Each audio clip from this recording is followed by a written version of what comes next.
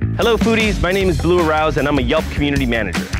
Major part of my job is going around to local businesses and writing reviews about those places to let the world know about all the great local finds. I don't know if my mouth is big enough for this. Oh yeah. We're gonna be giving you an authentic taste of Greater Fort Lauderdale. From real deal Cuban fare to the freshest seafood, tacos to pizza, Asian fusion, craft cocktails to craft beer, we're gonna be featuring it all. I'm here to discover the hidden gems in town that you might not have heard about. You're watching Crave, Greater Fort Lauderdale's brand new foodie series.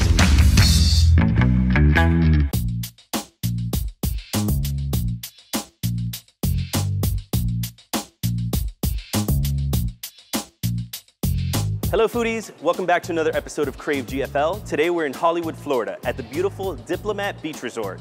We're checking out one of their premier restaurants, Point Royal. It's brought to you by celebrity chef, or should I say Iron Chef, Geoffrey Zakarian. Point Royal features approachable American cuisine, a lively raw bar, and cocktails made with local flavor. We're going inside to meet Geoffrey Zakarian himself and try some of his culinary creations. Let's take a bite.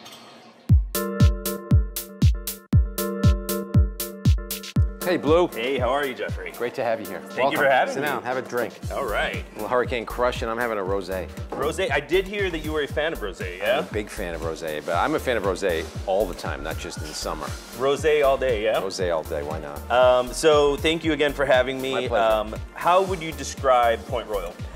I, I would I would tell you that is a very clean, smart, garden-like restaurant that serves coastal Italian food with a big emphasis on seafood.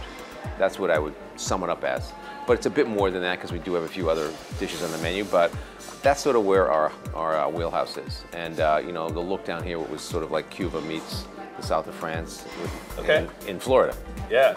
So you are uh, an Iron Chef. Yes. Uh, so for folks that might not understand the prestige behind that, can you tell us a little bit about Iron Chef? Uh, Iron Chef was a, a show actually that originated in Japan, and uh, it, it's a very strenuous sort of um, competition show where you have one hour and a secret ingredient. You have to cook five or six very high-end dishes, and you don't know what the, dish, the, ingredient is, and you go up against another chef. And if you do it enough times and you win um, the competition, uh, you become an Iron Chef. There's only eight Iron Chefs in the, in the actual country, and so it's great to be one of them. And then we we compete continually. And people try to knock us off our pedestal. Got to hold your throne, yeah. You got to hold your throne. So now that you're coming down here regularly, what is your favorite part about Hollywood, Florida? Well, this beach. Have you seen this beach? It's Yeah, just a killer. gorgeous. It's very easy to get here, but this is a great place to escape to. Yeah. Um, so I do hear that you're going to prepare some uh, some stuff for us. Uh, Yes. Should we head down to the kitchen and uh, Let's prepare go. something? Let's go. Let's hit it. All right, so we have the Florida Fresh Snapper being prepared.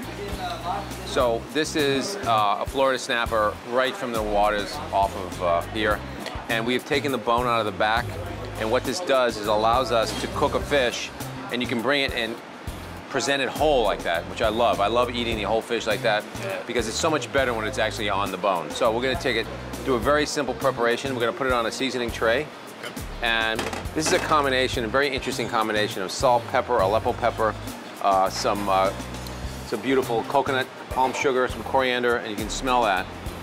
It's just just an incredible seasoning, but we're not going to overwhelm the fish because it's about a pound and a half fish. So we're just going to open up the uh, stomach, season it right here, outside. And we're going to put a little salt and pepper as well. And the key to having a great fish, grilling fish, is to be very, very exacting on how you season it. Make sure it's always seasoned really thoroughly beforehand, and then cook it simply on a very hot grill. Okay. It's going to take about two minutes. And the way you're going to, I'm going to show you how to cook this, and we're going to show. So it's very easy for someone at home to do this. It, it's so much better to take the bone out like that. So you cook it, it cooks quicker, and you don't have to fuss with bones. All right. So there we have it. Now we're going to go to the grill. So that's it. Simple preparation, That's straight to the grill. That's it. So we're at the grill. Chef George is uh, the executive chef here. Is going to help me with this grilling process. But first of all, you need a very clean grill Okay. and a very hot grill. And the way a chef knows how to grill, the way a chef knows when the grill is hot enough is a very simple and non-scientific way. You hold your hand over it, and you cannot get to five. And that's what allows it to cook in two minutes. Yes. So George is going to show you. So we've seasoned this. You're going to throw a little, very nice olive oil on. Very little oil. Okay. Because what you don't want is a large flare up. I know when you watch TV Food Network or you watch someone outside barbecuing fish and all that, and there's all these flames. It's a good shot, but it's not. That is the enemy of fish because you get a carbon flavor that you don't want. Mm. George is going to put it on very simply. He's going to lay it once, and guess what? He's not going to touch it.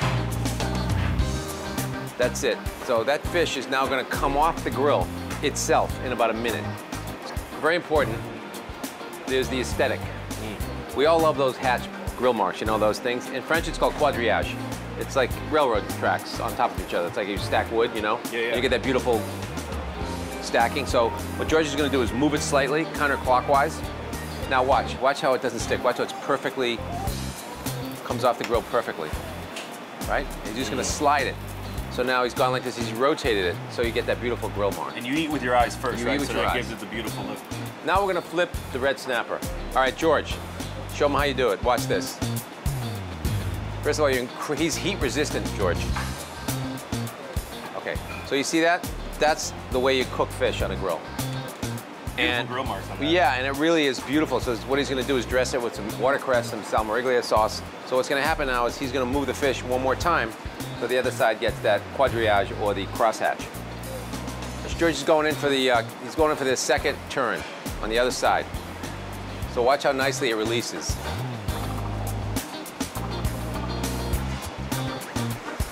One minute. Notice he has no hair in his arms. Just because they're all been burned off. What he's gonna do is he's gonna remove it to a pan that's lightly oiled and put it in the oven for about two, two minutes just to like set it Okay. And we're finished. Okay, George.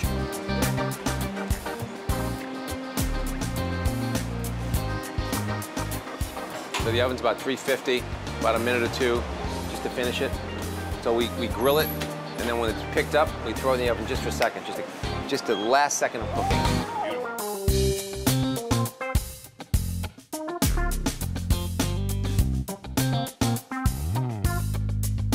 Okay, so here's our fish. It's beautiful. We just put a little salmoriglio sauce, which is this garlic, parsley sauce, some really good extra virgin olive oil, a squeeze of roasted lemon, and a little bit of sea salt on top.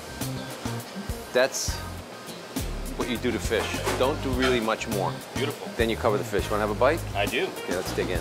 And no, there's no, there's no, uh, there's no bone, so it should be perfect. Right.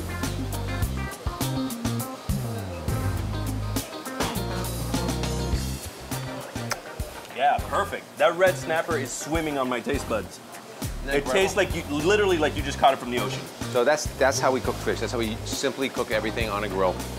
No flame, a beautiful.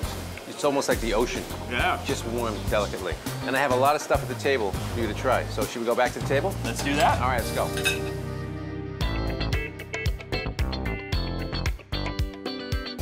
So what an experience in the kitchen. Uh, that Florida red snapper was a delight. Um, ready to eat? Yeah, but now we have a ton of other things. So Wow. can you walk me through what this Sure. uh, this feast is? This is our Point Royal platter um, uh, with the freshest of lobster, Maine lobster, beautiful Gulf shrimp, crab claws. You know what these are, right? yeah, stone crab. They're in season. Yeah. Another couple of months. And our uh, beautiful oysters, East and West Coast oysters. We have some Brussels sprouts with apple cider vinegar. We have our lobster mac and cheese, which is very popular, I must say. And then our uh, grilled red snapper that we just made with uh, salmoriglio sauce, Mm. which is basically a parsley, garlic, olive oil sauce. Very nice. Yeah, I see that you guys live up to the name here, and this is a royalty almost. Yeah, this is a Point Royal with a royal feast. Shall we eat? Uh, And let's we have dive a in. Bloody Mary here. Yes, right, yes, okay. a very casual Bloody very Mary. I see. casual. My little uh, oyster and some uh, stone crabs. Oh, Let's go.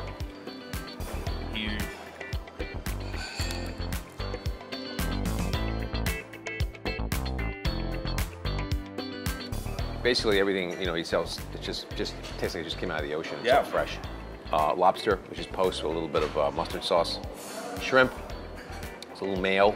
Okay. mustard mayo very important for both the uh, either the shrimp or the crab claws. I think it's the best way to have a crab claw is a little mustard. So let's dip the crab claw in right the in mayo. there yes